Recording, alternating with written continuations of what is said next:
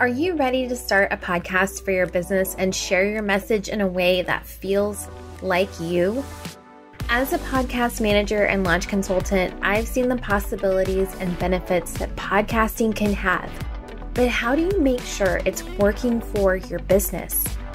Welcome to Podcast Your Business. I'm Caroline Hull, a podcast manager and launch consultant, and I own Wild Home Podcasting, a podcast management agency. In this podcast, I'm going to share podcasting knowledge and tips on how to create a podcast for your online business, be wildly authentic while doing it, and share your message in a way that helps you grow your business. Listen in each week to hear how to start your own podcast journey and tips from others who've done the same.